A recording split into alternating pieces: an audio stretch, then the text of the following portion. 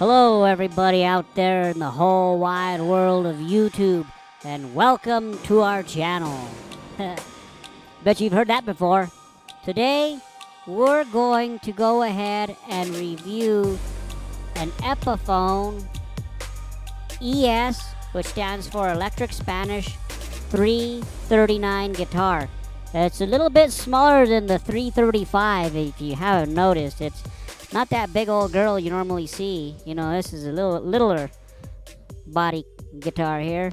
And it's a semi-hollow body, meaning that it's got a solid block of wood that runs from the back of it all the way up to here to, to support the guitar. So if you were to put your finger in the F hole right here, it wouldn't go all the way to the other F hole and come out over here on this side.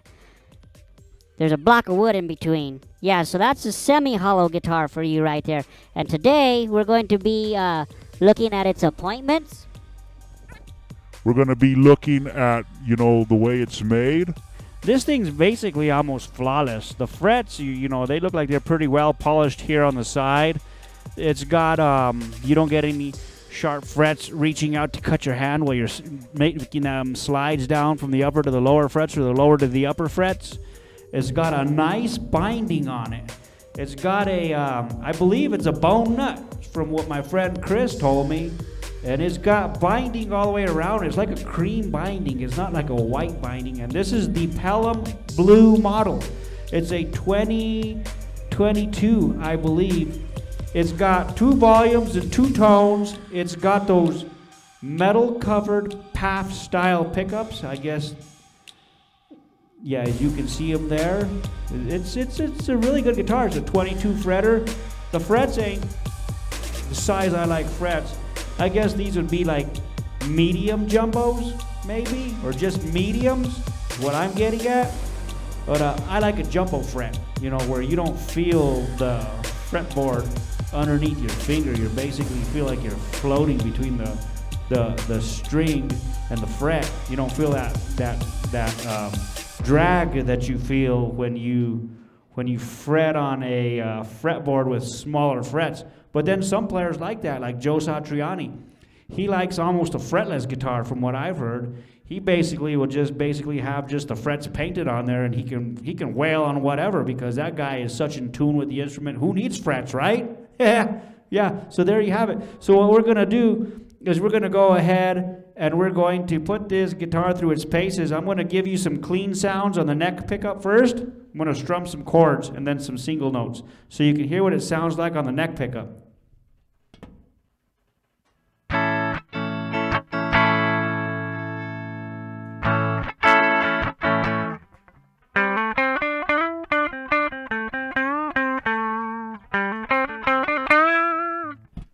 Okay, now let's go ahead and try the middle pickup chords and, and single notes again.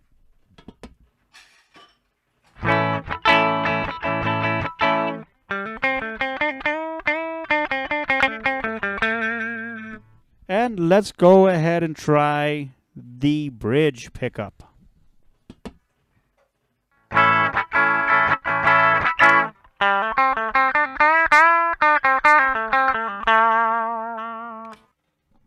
Okay, there you have it. I'm going to give it a little bit of distortion here, but I'm going to tell you a little bit, a bit about Gibson and Epiphone history, so to say. As you can see, there is that inlay right there. You can see it right there on the headstock. It looks like a flower of some sort.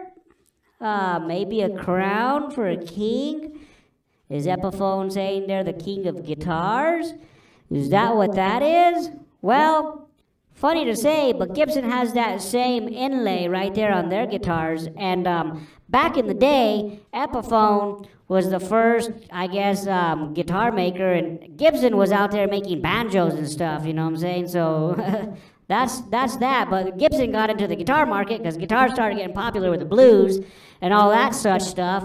And then it turned out that um, Gibson became very popular as a brand, and they decided to beat the competition. So what they did was they went ahead and bought Epiphone and made them a sub Gibson. But you know, those that you know know guitars and stuff, they know that Epiphones are a really great quality guitar. And who needs to spend all that extra money when you can basically walk into your local guitar store and buy an Epiphone for pocket change as compared to the Gibsons? But then the Gibson put out a statement, or was it the Chipson, the Chinese Gibson? Um, anyways, let's get back to the story again. So this Epiphone here was made without the E on the pick guard. As you notice, there's no E here. I guess uh, Chipson was making fun of Epiphones by um, the ones with the E, and they called they called an Epiphone with an E on the pickguard an Epiphony, which would be a phony Gibson. But then who's Chipson to talk, right? The Chinese Gibson, a knockoff. Anyways, let's go ahead and put this thing through some distortion and see what we got. So we can go ahead and I'll go ahead and show you what it looks like. Let's see if we can get some up closes on that. You can see into that F hole. And it's I think it's a um, it's a laminate top, so it doesn't feed back. We're gonna do some real world playing here. And we're gonna go ahead and see what this thing does when we um, give it some distortion. Let's give it a couple chords and then we'll kick the beat machine in and see what we got out of it. Hang tight. I'm going to go ahead and make this thing happen.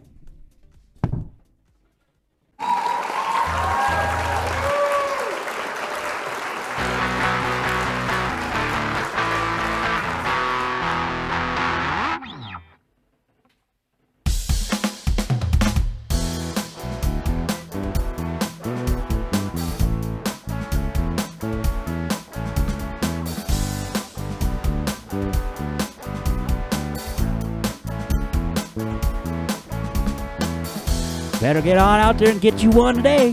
There it is. You wish you had one of these Epiphone 339s right here. You could be the star of the show. Right there. There it is. In your face.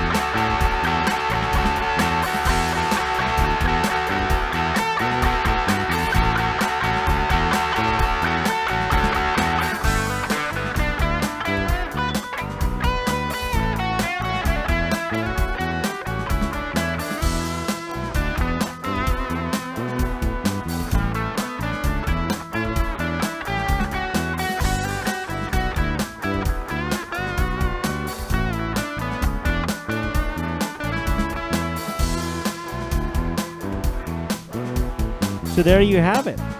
you heard what it can do right there. I mean, why delay? Make yourself the star of the show and the center of attraction in the band. Yeah.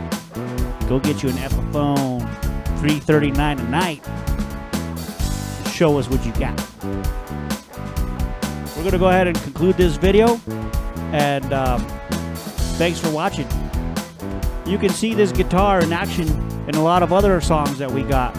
The, so- the rhythm that you're hearing behind this song right now is called Deeper Than Skin. It's a song we put out, me and Melody, and um, you can check it out on our YouTube channel, Melody Stalians channel, as you can see right there in the back. Just uh, dig it up.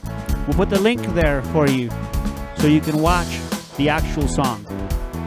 I'm gonna go ahead and let the looper play for a little bit and um, play a little bit of souls and we'll fade the video out. So there you have it.